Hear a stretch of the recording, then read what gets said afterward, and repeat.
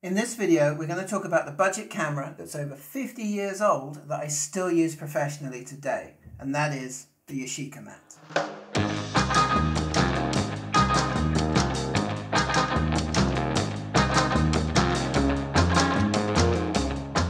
After the Second World War, the Yashica company made watch parts and precision optical instruments, but the young managing director, a Mr. Uchiyama, theorized that mass-produced, low-cost, high-quality cameras could take advantage of the emerging popularity of photography. The Yashica brand quickly rose to become the largest manufacturer and exporter of photographic products in Japan throughout the 1960s. Fun fact, the brand name Yashica is a combination of the word Yashima and camera.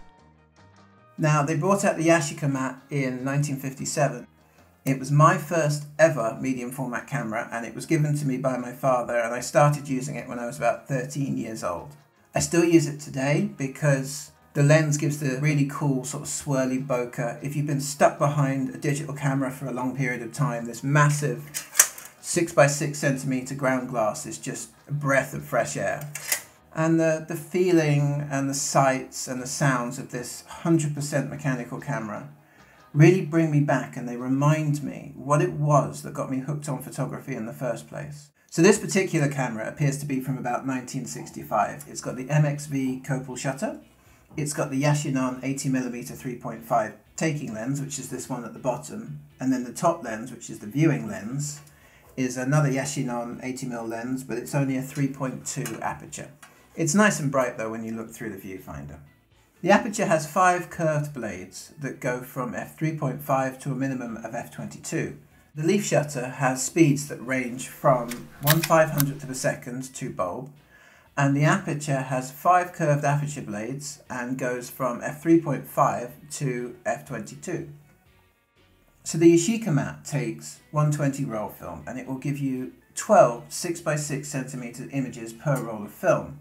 It has a fixed focal length lens, 80 millimeters, which is probably its biggest disadvantage. But they do have bay mounts on the front so that you can put adapters and lens shades and things like that. The later model, the, the Yashica 124G, could take 220 roll film as well and had a light meter.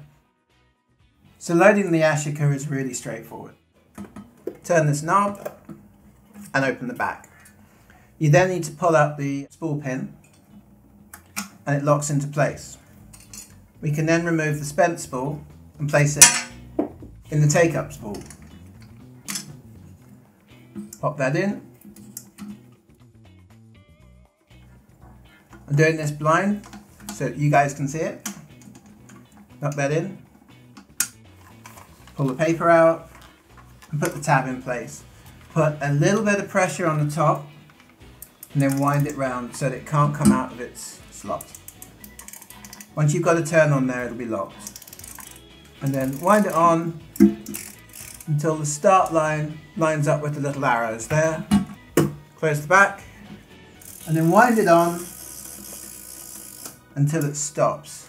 An interesting thing about this camera is the wind on, of course, clockwise winds the film on, but you need to wind it back until it stops in order for the shutter to be cocked.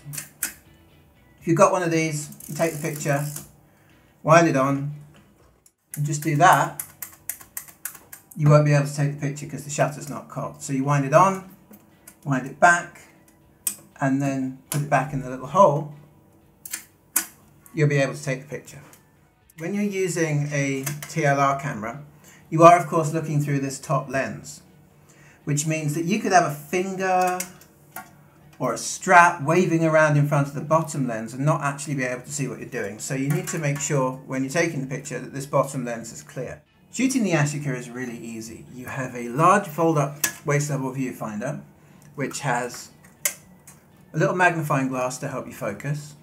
There's also a sport finder which you can access by pushing the Y down you can look straight through, but I've never actually used that. I think it's more of a throwback from the pre-war cameras. The focus knob is on the side here, it's very smooth. The shutter speed and aperture can be found on these two wheels either side of the lens. And by looking down, the window displays what shutter speed or f-stop you're on. The only thing you need to be careful of is you can jog these wheels whilst you're working and suddenly look down to find that you're shooting at the wrong f-stop. You of course have a self timer on the front, which is at the bottom of the lens. Mine's a little bit sticky, there it goes.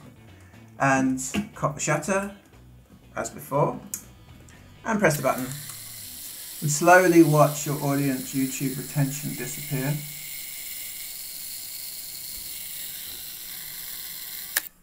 So that was the self timer. So we should know how to use the camera by now. But we're going to go out on the road and put a couple of rolls of Portra 400 through it and see what it's really like to take pictures with.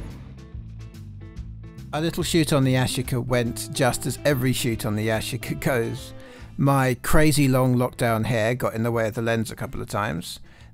The aperture wheel had slipped at some point during the shoot and had to be corrected. And when I gave the camera to Jamie, she was utterly confused by the reversed image. She's used to large format cameras where the image is upside down, which is more obvious.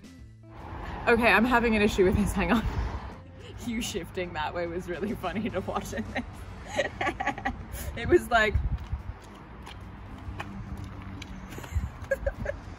it was really silly. The cost of these cameras has gone up slightly with the popularity of film cameras increasing, but you can still pick up one of these cameras for about £200 or the more advanced 124G for about £400, which still makes them fantastic entry level cameras. The early 1970s were not kind to Yashica. Accusations of embezzlement, mismanagement, inflated assets, and then the fuel crisis and economic downturn led Yashica into financial peril. By early 1975, Yashica was bankrupt and had to be rescued by the Kyocera Corporation. Kyocera Yashica tried throughout the 1980s and 90s to release another breakthrough camera, but it ended in Kyocera dropping the brand in 2000. In 2018, Yashica tried to make a comeback with the nostalgic Y35 digital film Kickstarter camera, but the project and the resulting camera were an unmitigated disaster. So that was the story of the Yashica. Over the next couple of months, I'm going to go through all of the old cameras that me and my old band collected over the years, and I'll finally make them all work. If you want to see that, then you should like, share, and subscribe.